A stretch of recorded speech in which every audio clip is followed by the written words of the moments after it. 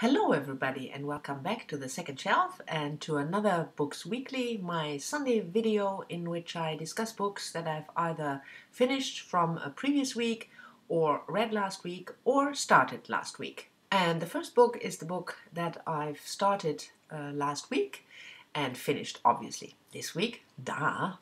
And that is Heidi Julavits A Folded Clock, a diary it's called. It was published in 2015. Heidi Julavits, I talked a little bit about her in my last Books Weekly. So she's an American author and co founder of the magazine The Believer.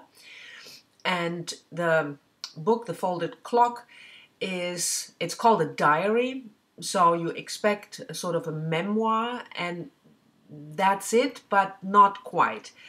It's a diary in the sense that each piece of text starts with a date and starts with a sentence similar to today I did this or me and my friend went to the school today. So the, the opening of each chapter is a kind of diary entry. And this relates to this opening today. I relates to a diary that Heidi Julavits kept when she was a child, um, she explains that in the beginning that she was given a, diary when she was nine or ten years old, and she wrote in it every day religiously when she was a child. And each day she would start with, Today I went to school, today I watched television. So she picked up this way of starting a day or an entry with the Today I did such and such. But from then on, each entry is much more um, a personal essay, a re- reflection on a certain theme that was sparked by the event with which the entry is started.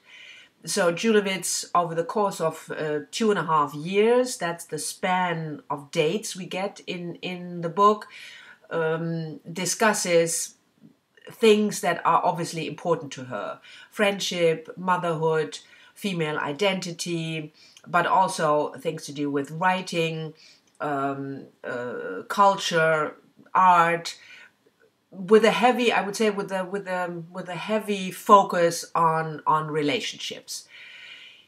I liked the book. I, I didn't love it, but I, I liked it. Uh, one of the reviewers on Goodreads said if you read the book, it's like having coffee and a chat with one of your smartest girlfriends. And that's exactly it. So if you like this kind of casual, uh, chatty essay book about um, various topics, in in an intelligent but but yeah casual manner presented in a casual manner then i'm sure you will like it. But don't expect uh, a memoir in the strict sense or a diary in the strict sense.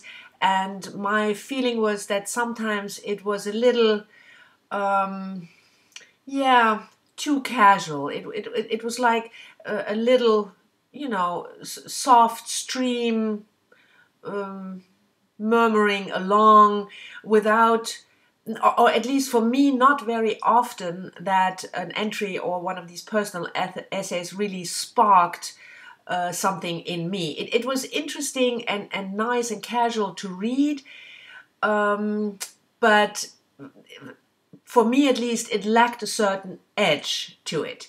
But still I, I enjoyed uh, enjoyed the read. And like I said if you like these kind of personal essays centering around identity friendship relationships art culture then this might be a book for you. On to the second book. That is a new release uh, Meg Howrey The Wanderers it came out in the US, I believe, in February, and in the UK at the beginning of this month, beginning of April. I talked already about this book in my uh, April to be released video, um, but you might not have watched it. So, very briefly, Howrey is an American author who used to be a ballet dancer before she became an author, and um, the she published previous novels, one of which, The Crane's Dance, is about the private life of dancers. And I, I really enjoyed that one. Um, so I had yeah, quite high expectations. I was looking forward um, to The Wanderers. The Wanderers is a science fiction book. It's set in the future and it's about a mission to Mars. The main characters are three astronauts chosen for the first uh, mission to Mars Helen, uh, a seasoned astronaut in her 50s, and uh, Japanese Joshi, Yoshi, I think you pronounce his name, and the Russian Sergei. So these three are picked for this first mission, but before they can go on the mission, there has to be a serious rehearsal. So they will spend 18 months in a simulation uh, somewhere in the desert where they are in a spaceship on Earth, obviously, and if they go out, they experience surroundings as if they were on Mars. So it's a it's an yeah extensive simulation of this voyage um, uh, to Mars. The book is told from their perspective, so those three astronauts plus plus a family member from each astronaut. For Helen, for example, it's her daughter, Mireille, um, plus um, a liaison officer from the NASA. So we have seven points of views. Now, I was a bit disappointed with the book. Let me say that upfront. I, uh, for for yeah, one reason for this was probably because I expected something different, which has to do with the way the book was marketed. Note to the publishers: don't market a book as a mix of The Martian and Station 11 if it's not.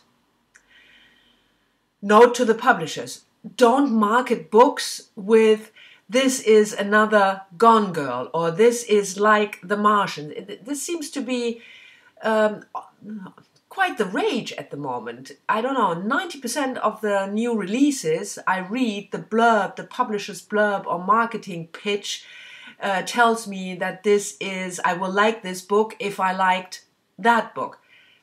Don't do that. That's lazy and stupid. So don't do it. And especially don't do it if it's wrong. Because The Wanderer is not a mix between The Martian and Station 11. First of all, it's not an action book. Nothing happens. Nothing serious or, or accidents or life threatening events. That's not at all what the book is about. The book is very quiet, very slow, and it's told, like I said, from these seven points of views, um, focusing on what happens when you prepare for such a long mission from the point of view of the astronauts, what, what happens between you know the, three people when they are confined to a closed environment they can't go out but also what happens to your uh, family the, the fact that you are not able to see or really communicate uh, with your family. So that is what the book is about. I mean the setting is in the future and there is some you know science fictiony uh, yeah aspect to it but it, it it's not a sci-fi book and it's certainly not an action sci-fi book. Um, I, I, will leave a link to a review done by Mercedes from uh, over at Mercedes Bookish Musings. She, she, had similar issues with it. She was a bit harsher than I was because I thought there were things in it. If you go into the book with that mindset that you know there will be no Martian accident, life threatening situation happening, there is certainly, um, yeah, you, you, there's there is stuff in that book to like, but overall, I thought it was just it just didn't do it for me. It it I got bored.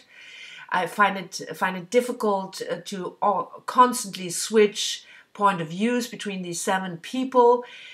So yeah, it, it was a it, it, it was a disappointment. It's not certainly not the, the, the, worst book I've ever read. It's not a bad book in, in that sense. I gave it three stars in the end. Um, but it's I would not recommend this book to hardcore science fiction fans. I would much more think this is a book for people who are interested in um, a, a, slow, quiet book about relationships and especially uh, what happens to relationships if you're separated.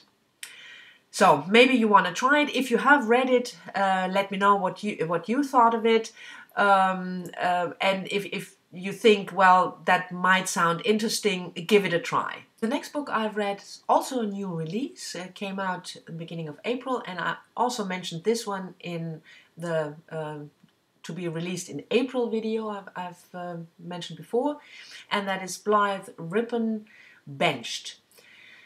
Now, Blythe Rippon um, is a, a, blogger, a writer, a podcast. I will leave uh, a link to her um, blog, WordPress blog, uh, down in the description box. And Benched is the second in a series called Love and Law. And the first one in the series was called Barring Complications, because it's all about people who are members of the bar. And the two main characters in the first book of the series, the same as now in the second book, are um, um, Supreme Court Judge Victoria and um, a high profile LGBTQ rights lawyer Genevieve. In, in the first book, which I really liked, we, we see Victoria navigating you know, becoming a member of the, the highest court in, in the US and then meeting somebody with whom she falls in love. So it's it's a yeah, it's a bit of a law romance, but I, I, I liked um, barring complications. So I was looking forward to the second book in, in the series, and I was I was disappointed. We the relationship between those two women is explored further. Um, it's uh, the book opens when uh, the relationship was a secret um, uh, and they only just started getting getting serious when, when the book opens. And then all of a sudden um, a, a, a, picture photograph is published where Victoria uh, and her uh, girlfriend kiss or almost kiss. And from there on they have to deal with the fact what does it mean for their relationship? Because cases that Genevieve puts in front of the court can Victoria um, uh, hear those cases, and then you know they there's quarrel and they get separated. I don't know. First of all, I, I thought, well, those are two high profile career women in their 40s. And I had the feeling throughout the book that they acted like teenagers. Um, that was my first moi. And the second was that I, yeah, I felt the relationship was was pictured or, or described in a very stereotypical way that you know or or might expect from um, male female romance books and and not the best ones of those. Um, I, I yeah I don't know. I, I just I didn't like the way the, the the second book was set up how the relationship was pictured I thought it was boring. Uh, it it was uh, foreseeable, very predictable.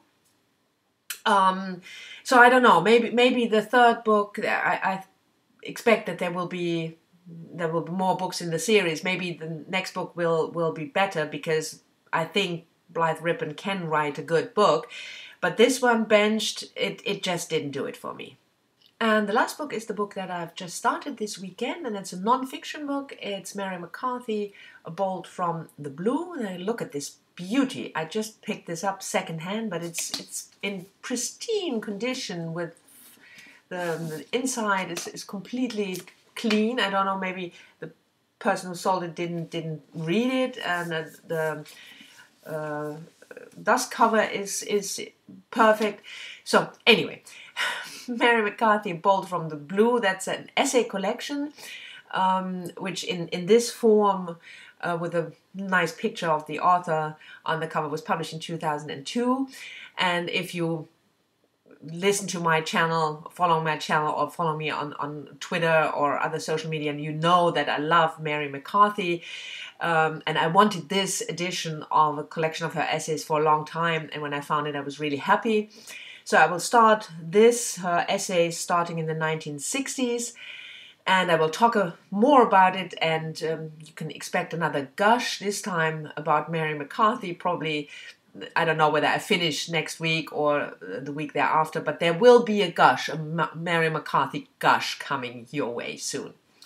So this was it for this week's Books Weekly. I hope you've enjoyed it. Thank you very much for watching. Happy Easter, of course. Leave comments, as always, if you want to talk to me about the books I've mentioned or about other books. And I will see you again soon. Bye bye.